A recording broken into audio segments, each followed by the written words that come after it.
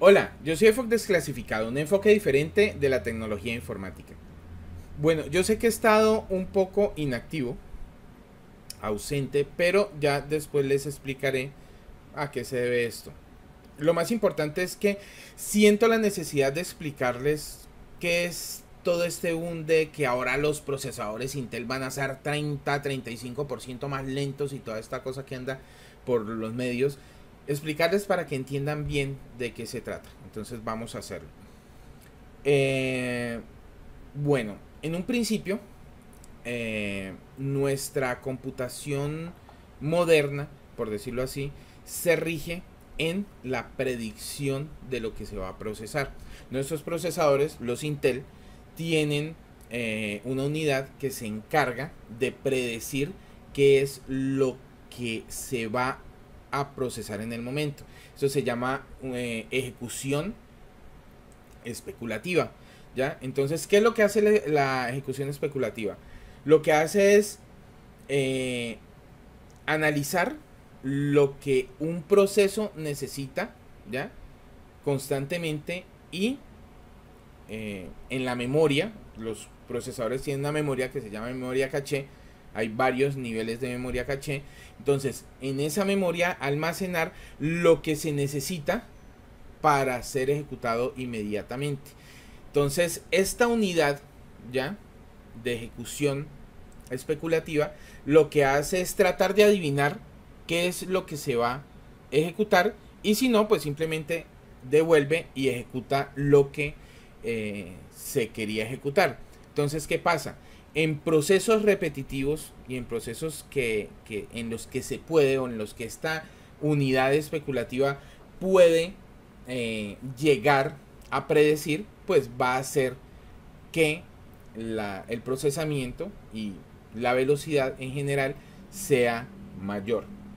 Lo que pasa es que esto cubre básicamente a toda la familia Core i de Intel e incluso algunas unidades anteriores a ella. Entonces, esto es bastante, pues, para Intel implica un problema grandísimo porque eh, básicamente son todos los últimos 10 años de diseño de procesadores con este problema. ¿Ok? Entonces, ¿qué pasó? Pasó que Project Zero, que es una em, iniciativa de Google, la cual busca Em, eliminar al máximo los problemas de seguridad que ya había descubierto em, años atrás un problema en la DDR4 que es muy parecido a el otro problema que vamos a ver ahorita que es Spectre. Eh, descubrió este problema en los procesadores, ¿ya? Eso fue en junio. Y ustedes habrán notado que a finales, mediados, finales de diciembre, nuestros sistemas operativos, incluyendo Android, se comenzaron a actualizar, actualizaciones grandes y actualizaciones continuas, también Windows. Entonces, eh, esto se debió a que en esa época, pues antes de que se hiciera público, ahorita a principios de año, a principios de enero, eh, estas, estas vulnerabilidades fueron parchadas con anterioridad.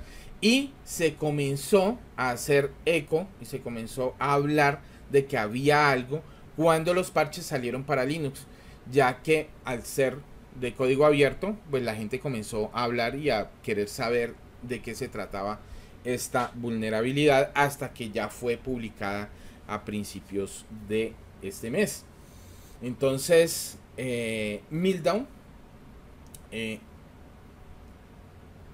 aprovecha esa, esa funcionalidad de la, de la predicción especulativa para que en el momento en el que se tiene que desechar la, la, acción que se iba a efectuar pero que no se efectuó, ¿ya? Recoger la información que queda en la memoria antes de desaparecer y obtenerla. O sea, se puede robar, se puede obtener. Y esto se puede hacer por encima de los privilegios del espacio de memoria reservado para el, para el sistema. O sea que básicamente a nivel de esa vulnerabilidad ya no existe diferencia entre espacio de usuario y espacio de sistema operativo. O sea, el kernel ya no está aislado porque existe un posible bypass entre el, la, entre el, espacio del usuario y el espacio reservado para el kernel por medio de este pequeño eh, memoria que tiene el procesador en la cual es depositada la información antes de ser desechada cuando se cuando no se logra la predicción especulativa ya entonces este es el problema gordo que tiene Intel y tienen algunos ARM con su predicción especulativa. Y ahí es donde entra el problema, porque si se puede obtener información que pasa por el procesador, ya en su memoria caché, se puede obtener saltándose el espacio del, del kernel, entonces ya no hay diferencia entre un usuario, entre el usuario y el root, por decirlo así, o entre el usuario y, y el administrador, usuario y superusuario. Entonces, este tema es el que hace que este problema sea bastante gordo para eh, Intel. ¿Cuál es la solución? Porque afortunadamente Meltdown tiene solución. ¿Cuál es la solución? Bueno, la solución es algo como lo que les voy a, a tratar de explicar en estos momentos. Imaginen que un día les llegan y les dicen, todos los automóviles se pueden hacer explotar con un comando remoto. Y la única forma de que no se puedan hacer explotar es que usted no supere los 70 kilómetros por hora. Usted podía andar a 100 antes, pero ahora usted solamente puede andar a 70 kilómetros por hora. Básicamente, este es el problema a, algunos niveles, no a todos, porque no afecta a todos los niveles. De hecho, eh, nosotros como usuarios finales o videojugadores vamos a tener muy poca repercusión por los parches para Milton, pero eh, otros, eh, en otros aspectos de la computación sí va a tener mucha repercusión. Y este tema es parecido a lo que les acabo de relatar.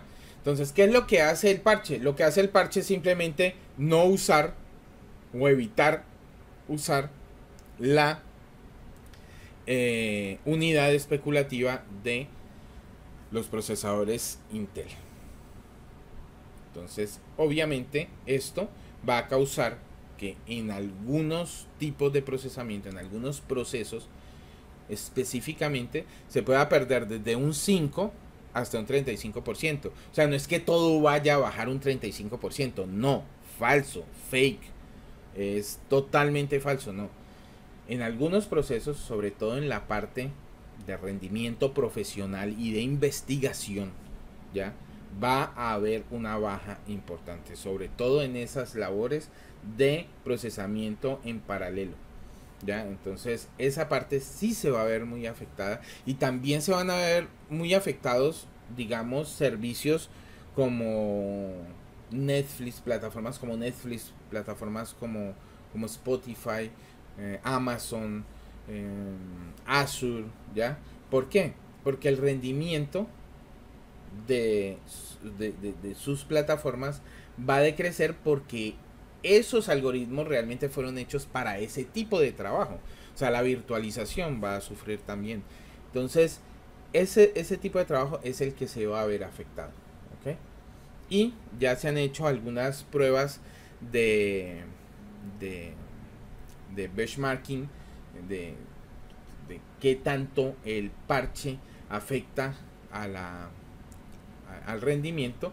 Y pues aquí pueden ver unos los estoy colocando acá, donde se muestra que sí hay una baja en el rendimiento debido a los parches. ¿Ok? Pero pues afortunadamente solo afecta a un sector. Es importante, ¿ya? Y económicamente pesado. Pero no afecta, no nos afecta a todos este parche. Afortunadamente hay solución. Pero ahí es donde entra el otro bicho el otro problema, que es Spectre. Spectre funciona más como eh, el problema que les decía de el, Dirty Cow, que era, que, que era el problema que tenían las memorias DDR4, que inclusive los únicos que se salvaron en ese tiempo de ese problema fue eh, que eran los únicos que no eran eh, vulnerables a este, a este tipo de ataques. De eso me enteré por otro video de, que vi de también un compañero youtuber. Y eh, este, este problema del, del, del, del Spectre es muy parecido al Dirty Cow, Pero pues tiene también sus variantes. Más bien no es muy parecido. Tiene los mismos efectos. Pero no, no es que sea parecido técnicamente. ¿Y qué es lo que pasa? También se trata de predecir. ¿Ya? En este caso se trata de predecir los saltos. Los saltos, ¿ya? Que se tiene como la memoria RAM es aleatoria. Entonces lo que se busca es prevenir la fragmentación.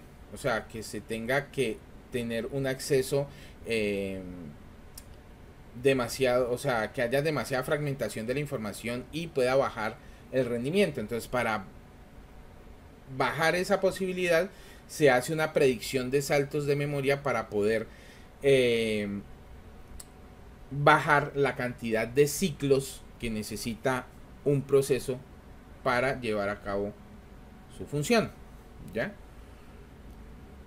Resulta que este problema realmente no tiene una solución total. O sea, no es que yo puse el parche y nunca más ya eso quedó solucionado, no. Este problema sí es grave. ¿Ya? Porque no solamente se puede manejar desde el sistema operativo, o sea, es que afecta a todas las aplicaciones. Todas las aplicaciones, literalmente hablando. Por más perfecta que sea la aplicación, por, más, por mejores em, técnicas y por mejores em, condiciones que, se haya hecho el, desarrollo, mejores prácticas, se me estaba olvidando el, el término, por mejores prácticas de programación que se hayan tenido, inclusive estas podrían llegar a hacer que el software fuera más vulnerable a ataques basados en este tipo de fallos.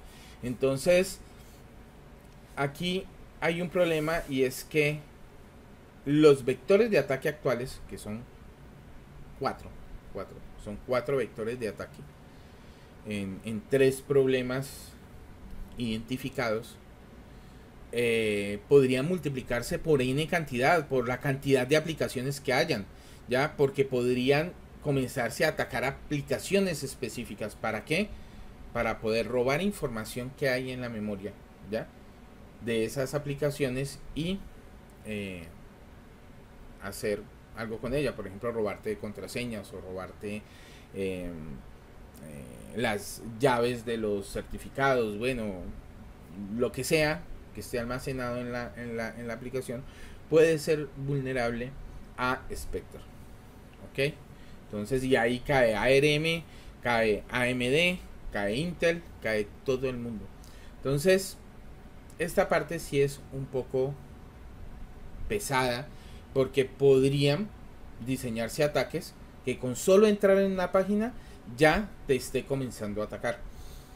No es algo que pueda suceder tan fácilmente.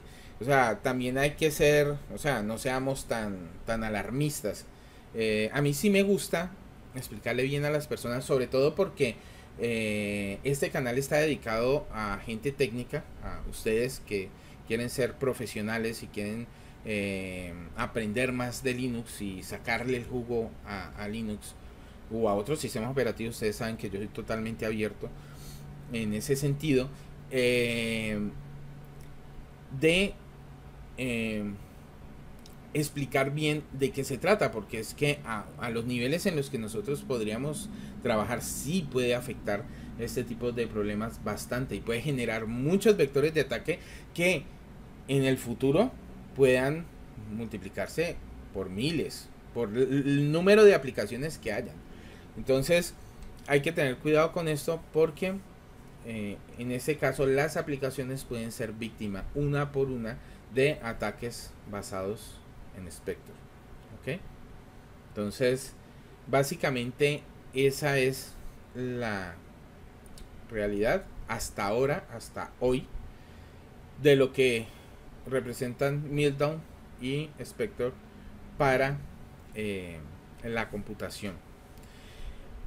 Eh, ya me he extendido un poco, pero les quisiera mostrar tres ejemplos ya de ejecución de una prueba de concepto que explota eh, Spectre.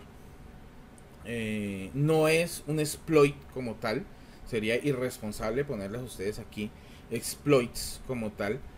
El código que está allí se puede modificar para hacer un exploit, pues siempre hay que tener bastante conocimiento. pero ese código prueba el acceso a las a las, a, las partes de memoria desde el espacio de usuario a otras aplicaciones. ¿Ok? Hay que tener en cuenta también, por lo que les voy a mostrar aquí, que una de las partes más afectadas y que afecta a Azure y a Amazon, ¿ya? Es la virtualización. El, el, el mero hecho de que una máquina virtual que puede explotar Middown o Spectre aquí en su espacio pueda leer memoria ya en otra máquina que está corriendo en su espacio. Quiere decir que hay un salto brutal y un, un, puente brutal entre una y otra máquina. Entonces eso también es lo que muchos temen. Bueno ya dejándonos un poco de palabrerías vamos a la acción. Acá tenemos un linux con kernel 4.4.0 es un Ubuntu 16.04 y lo tenemos corriendo con un procesador Core i3 7100 a 3.9 GHz ok supuestamente es vulnerable vamos a correr el Spectre POC que es una prueba de concepto que pueden conseguir en GitHub voy a dejar en la descripción la dirección y vemos que efectivamente eh, cada acceso de memoria eh, es vulnerable, o sea, fue exitoso. este procesador es vulnerable a el problema de Spectre. ¿Ok? Entonces, ¿qué vamos a hacer?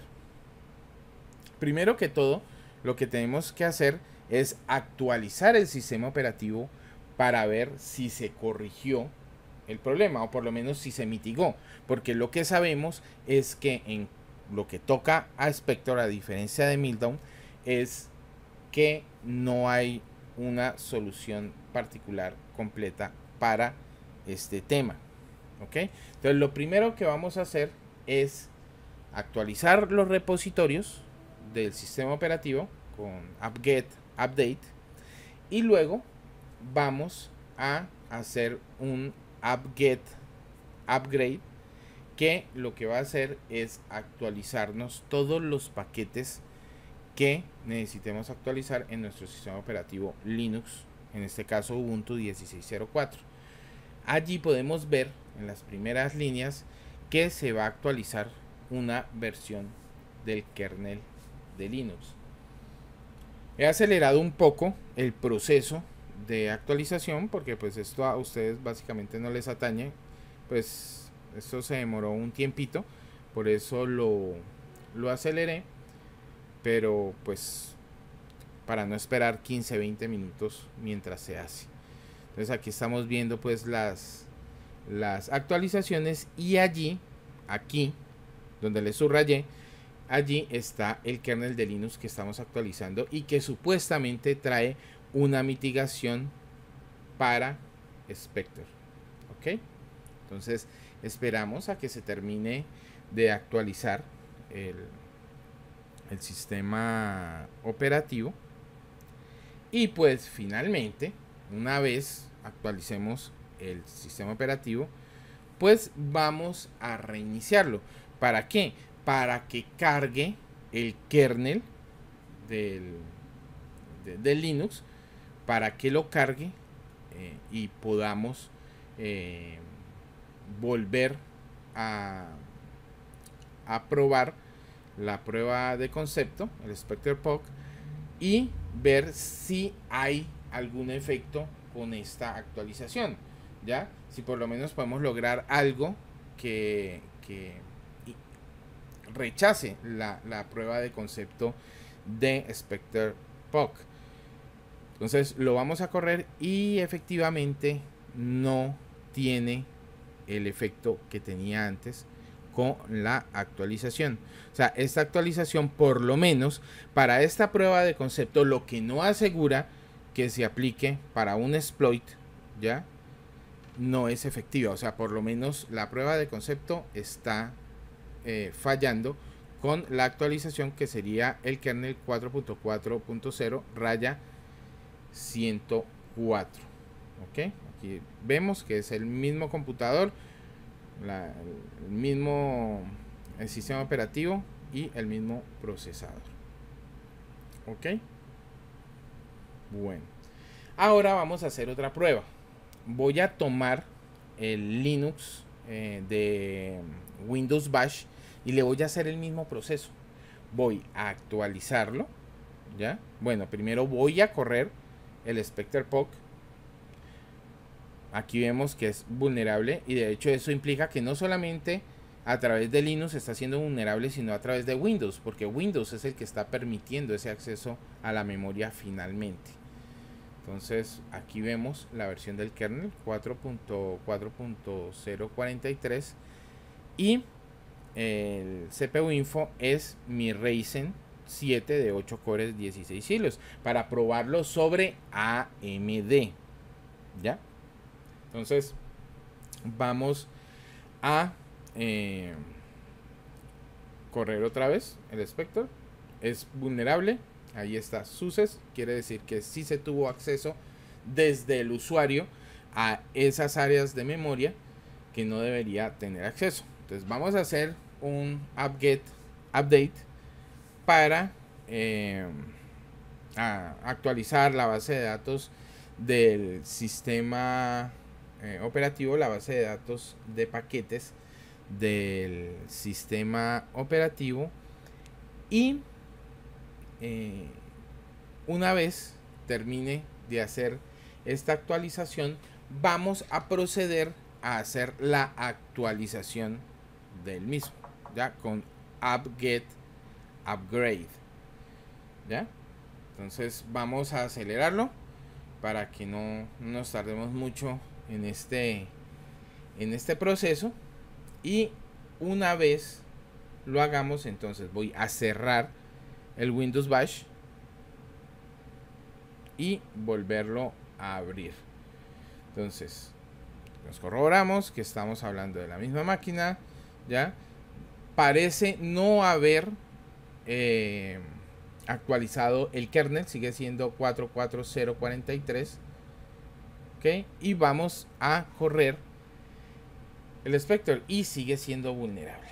¿ok?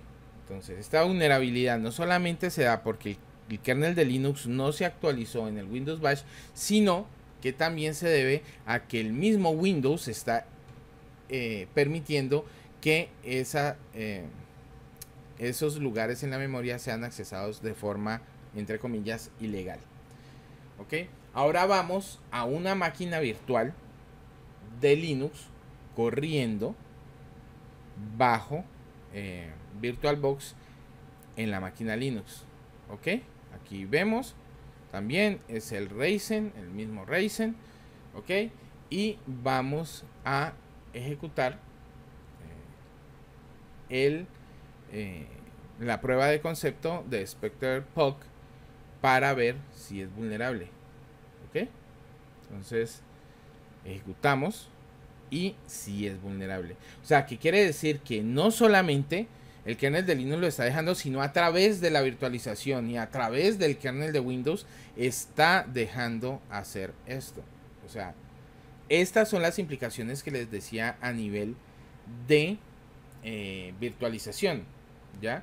Esto permitiría que yo pudiera tener desde esta máquina virtual que estoy corriendo aquí, que ustedes están viendo, acceso a otra máquina virtual que esté corriendo en la misma máquina por medio de este problema.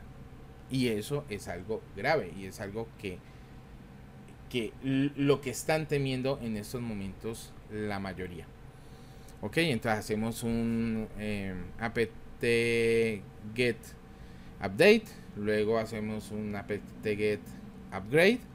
Vamos también a acelerar este proceso para que no nos tome mucho tiempo. Ya, ahí vemos, les subrayé cuáles son las versiones de Linux que se van a instalar, las versiones del kernel de Linux que se van a instalar y vamos a hacer una prueba porque en teoría, en teoría deberíamos eh, funcionar igual que el Linux nativo que estaba corriendo con el kernel 4.4. Este es kernel 4.10. ¿Ok? Entonces, vamos a ver si la actualización para este kernel 4.10 surtió el efecto que esperamos.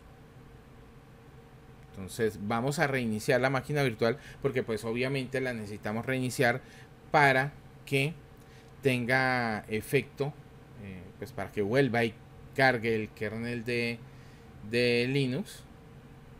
Y pues vamos a ejecutar el Spectre POC para ver qué pasa. Y lo ejecutamos y parece que seguimos vulnerables. Seguimos vulnerables en una máquina virtual que está corriendo kernel 4.10. Sin embargo, en la anterior máquina, en el Core i3, lo pudimos parchar. Entonces, estos son los temas que hacen que Spectre sea algo que todavía no tiene una solución o que estamos eh, eh, como trastabillando o tropezando todavía con su solución si es que la tiene definitivamente o por lo menos con la mitigación de sus efectos. Bueno, espero que con estos ejemplos eh, ustedes les haya quedado más claro eh, de qué se trata Meltdown y Spectre. Em, a mí me inquieta un poco, sobre todo la parte de pasar de un lugar a otro que supuestamente están aislados. Ya en el caso de Meltdown, pasar de, un área de usuario a un área protegida de, del kernel, ya que supuestamente solo está reservado para esa función, nos puede dar pie para muchísimas cosas. Rootkits, eh, troyanos, bueno, lo que ustedes quieran. Esta parte es bastante grave, me preocupa mucho, pero pues afortunadamente tiene solución. El problema es que no todo el mundo hace parche del, sistema operativo. En estos momentos o cuando comiencen la, explotación de esto a nivel de malware, van a haber muchos, muchos, muchos eh, servidores que no van a estar protegidos de esto. Y ellos pueden servir como pie o como plataforma para hacer más ataques. Entonces, eso hay que tenerlo claro. Porque algunos compañeros dicen, no, no entren en pánico. No es que sí, no hay que entrar en pánico. Hay que informarse y ser proactivo. Pero no hay que olvidar que hay gente que no es así.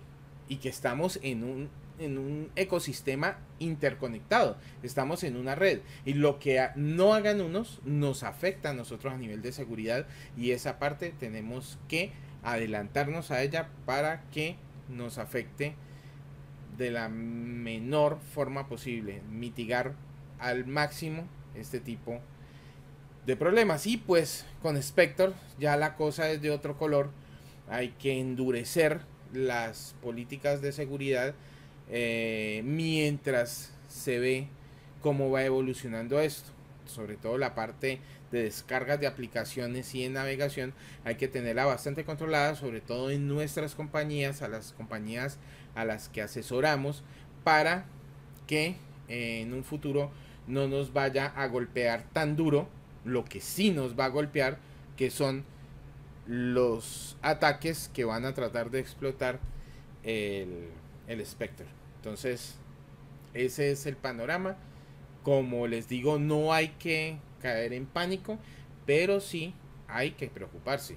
O sea, hay que estar alertas y hay que estar, tener presente que los problemas existen, que unos tienen solución, otros no tienen solución, o la solución no es como tan, tan idónea, y mitigar y minimizar eh, los posibles problemas y adelantarnos a los posibles problemas que nos puedan suceder con estos dos eh, bugs, estas dos vulnerabilidades que se han descubierto. Espero que haya sido de su agrado, espero que les haya gustado este video. Eh, acá en la descripción va a quedar la dirección a la página donde se describe eh, el, blog de Project Zero de Google, donde se describe el problema, la página oficial de los bugs, así tienen página oficial así como, como el, el bug que salió hace poco de, de WPA. Eh, también tienen página donde explican todo y están los dos papers ¿ya? Donde explican cada uno de los problemas técnicamente. No superficialmente como lo acabo de hacer yo, sino técnicamente para los que se quieren informar bien. Eh, también dejo el, link a, a GitJab de la prueba de concepto que utilicé para ver si los procesadores eran vulnerables y si los parches eh, surtían efecto. Entonces, eh, espero que les haya sido de su agrado, que esta información les sirva, les sirva en su vida profesional y por favor den like si les gustó, suscríbanse al canal y compartan esta información. Yo soy EFOC Desclasificado, un enfoque diferente de la tecnología informática. Chao.